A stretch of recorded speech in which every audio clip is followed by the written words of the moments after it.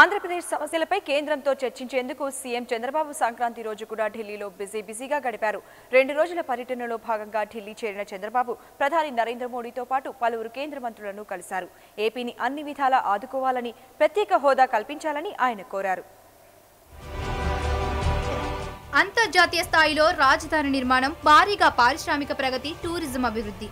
ఇలా అనేక రకాలుగా ఏపీని అభివృద్ధి చేయాలనుకుంటున్న చంద్రబాబు సంక్రాంతి పండుగ రోజు ఢిల్లీలో పలువురు కేంద్ర మంత్రులను కలిసి బిజీ బిజీగా గడిపారు. పారిశ్రామిక రాయితీలు పన్నుల మినహాయింపులు వంటివి వేగంగా అమలు చేయాలని ఆయన కోరారు. ప్రధాని నరేంద్ర మోడీతో పాటు కేంద్ర మంత్రులు వెంకయ్యనాయుడు రాజ్నాథ్ సింగ్ నిర్మల సీతారామన్ ఉమాభారతి ధర్మేంద్ర ప్రధాన్ తదితరులను చంద్రబాబు కలిసి ఏపీ సమస్యలపై చర్చించారు. రెండు వేల ఇరవై రెండుకి రాష్ట్రం భారతదేశంలో మూడు రాష్ట్రాల్లో అగ్ర రాష్ట్రాలు ఒకటిగా ఉంటుంది. రెండు వేల ఇరవై తొమ్మిదికి ఇండియాలో మొదటి రాష్ట్రంగా ఉండాలని రెండు వేల యాభైకి ప్రపంచంలోనే ఒక అత్యున్నతమైన స్థానంగా ఉండాలని చెప్పి ఒకటి పెట్టుకున్నాం. దీనిపైన మనకుండే సహజ వనరులు మానవ వనరులు ఇంటిగ్రేట్ చేసుకుంటున్నాం. ఈరోజు ఆంధ్రప్రదేశ్ ప్రపంచానికి ము- ముఖ్యంగా సౌత్ ఈస్ట్ ఏషియాకి ఒక లాజిస్టిక్స్ హబ్గా ఉంటుంది. విశాఖపట్నం దాని పరిధిలో ఉన్నటువంటి ఏరియాస్ని ఇంప్రూవ్ చేయడానికి ఏమేమి చేయాలి? దానికి మా డిపార్ట్మెంట్ ద్వారా ఏం చేయగలుగుతాం అనేది ద్వారా చూపించాము. చీఫ్ మినిస్టర్ బాగా శ్రద్ధగా ప్రెసెంటేషన్ presentation ని చూసుకొని దానిలో ఇంకా ముందు వెళ్ళాల్సినది ఏముంది అనేది గురించి సెక్రటరీ లెవెల్లో ఒకసారి మాట్లాడుకుంటున్నాం విశాఖపట్నాన్ని అది కూడా హుడ్ అఫెక్ట్ అయిన తర్వాత చాలా వరకు వాళ్ళ బేసిక్ ఇన్ఫ్రాస్ట్రక్చర్ అఫెక్ట్ అయిపోయి ఉంది. దాన్ని సరిదిద్ద సరిదిద్దడానికి మళ్ళీ పునర్నిర్మాణం నిర్మాణం చేయడానికి ఏం చేయాలో మా డిపార్ట్మెంట్ ద్వారా.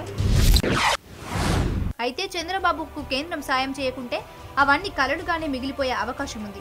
ముఖ్యంగా ప్రత్యేక హోదాపై పార్లమెంట్ సాక్షిగా కేంద్రం ఇచ్చిన హామీ అమలు చేయకుంటే సాధారణ రాజధాని నిర్మాణం కూడా అసాధ్యమే.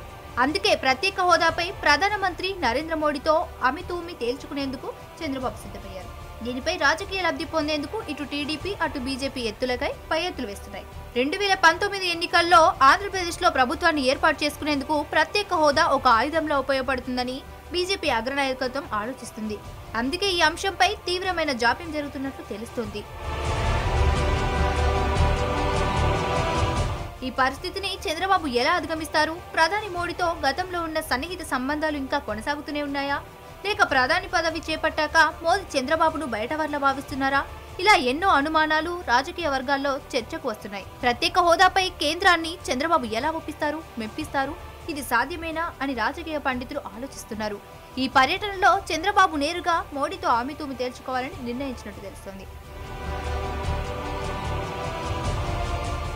విభజన చట్టంలో పేర్కొన్న పలు హామీలపై అమలుకు సంబంధించి చంద్రబాబు కలయికపై ప్రధాని మోడీ నుంచి వచ్చే స్పందన ఏ విధంగా ఉంటుంది? దీనిపై సీఎం చంద్రబాబు ఎలా స్పందిస్తారనేది వేచి చూడాలి.